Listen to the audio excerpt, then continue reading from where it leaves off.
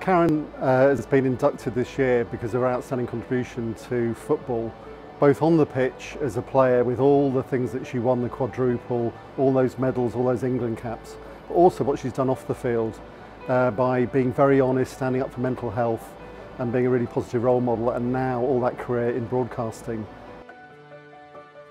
Karen Carney going into the Hall of Fame is deserved uh, for me, I think a deserved inductee. Gosh, I remember Karen when she was about 16, when she was played for Birmingham and then came into the England scene. First made her name, I suppose, on the Euros, scoring a huge goal for the team.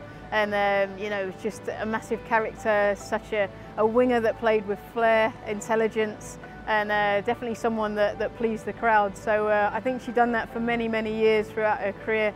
And um, I, I think she's well worthy of, of being in the Hall of Fame. I came in the stadium and I was obviously saying to yourself, like, I don't really know what's going on. And, and then came down the tunnel and seeing, you know, people that I knew and uh, it was slightly overwhelming. Um, but a brilliant surprise. And I think as well, like in a pandemic, it makes you realise the people that really matter to you and going down then with all the people that really matter to me. So it was really nice.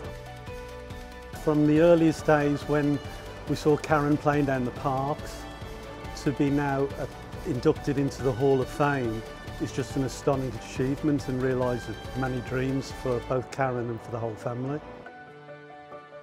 I mean, it's how do you verbalise it? It's just, a, a, a, I'm very humbled, very privileged and honoured to, to be amongst such amazing people, both male and female. So um, it's massive. I've got a 13-year-old niece and also my sister was here, my older sister was here today. And um, she, she never had the opportunities to play but she went to matches, watched them, she became a referee, she was a grassroots coach and got me involved into it. And I think I kind of owe it to her really and to show my niece as well that it wasn't always so easy for people, for females to play football.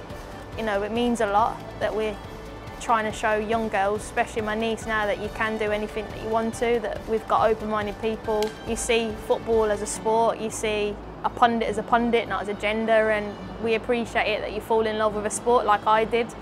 So um, it's important, and again, if I'm part of that journey to make a young girl, or even a young boy for that matter, be a part of it, then, then again, I'm really humbled and feel privileged.